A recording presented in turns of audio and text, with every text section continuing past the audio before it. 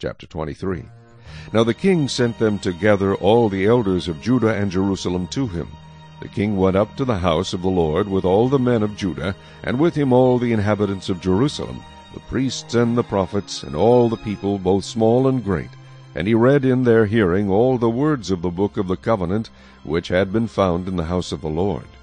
Then the king stood by a pillar, and made a covenant before the Lord, to follow the Lord, and to keep his commandments, and his testimonies, and his statutes, with all his heart and all his soul, to perform the words of this covenant that were written in this book.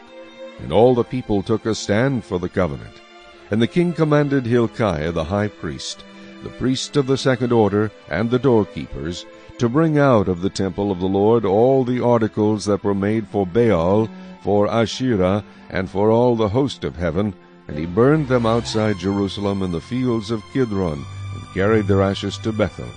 Then he removed the idolatrous priests, whom the kings of Judah had ordained to burn incense on the high places in the cities of Judah, and in the places all around Jerusalem, and those who burned incense to Baal, to the sun, to the moon, to the constellations, and to all the host of heaven.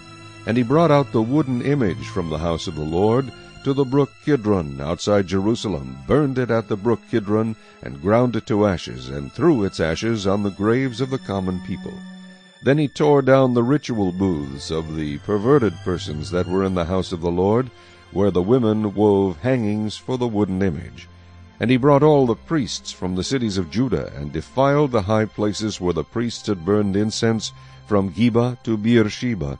Also we broke down the high places at the gates which were at the entrance of the gate of Joshua, the governor of the city, which were to the left of the city gate. Nevertheless, the priests of the high places did not come up to the altar of the Lord in Jerusalem, but they ate unleavened bread among their brethren.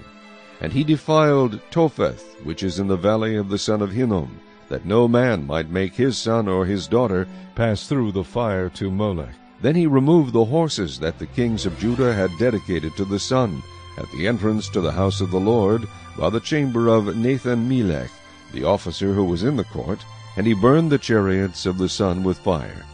The altars that were on the roof, the upper chamber of Ahaz, which the kings of Judah had made, and the altars which Manasseh had made in the two courts of the house of the Lord, the king broke down and pulverized there, and threw their dust into the brook Kidron.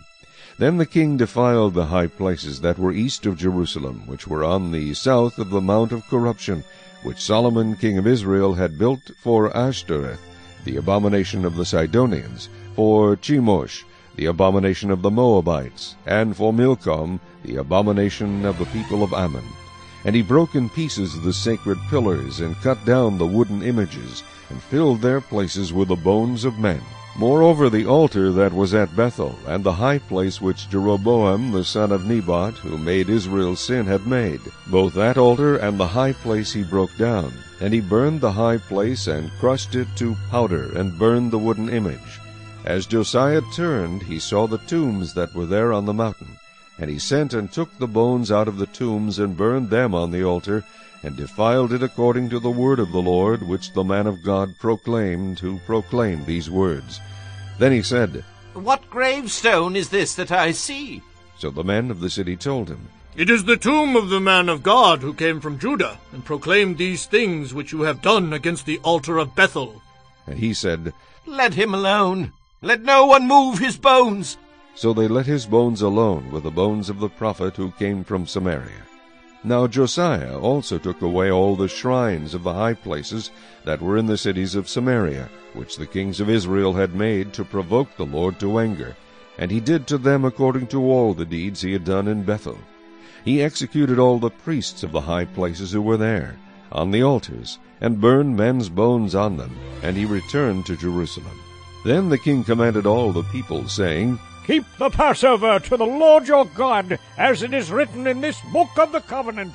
Such a Passover surely had never been held since the days of the judges who judged Israel, nor in all the days of the kings of Israel and the kings of Judah.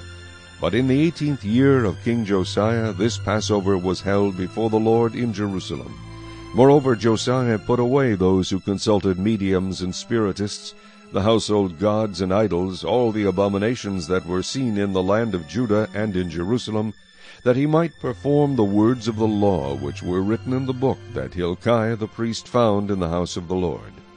Now before him there was no king like him, who turned to the Lord with all his heart, with all his soul, and with all his might, according to all the law of Moses, nor after him did any arise like him. Nevertheless the Lord did not turn from the fierceness of his great wrath, with which his anger was aroused against Judah, because of all the provocations with which Manasseh had provoked him. And the Lord said, I will also remove Judah from my sight, as I have removed Israel, and will cast off this city Jerusalem which I have chosen, and the house of which I said, My name shall be there. Now the rest of the acts of Josiah, and all that he did, are they not written in the book of the Chronicles of the kings of Judah? In his days Pharaoh Necho, king of Egypt, went to the aid of the king of Assyria, to the river Euphrates, and King Josiah went against him. And Pharaoh Necho killed him at Megiddo, when he confronted him.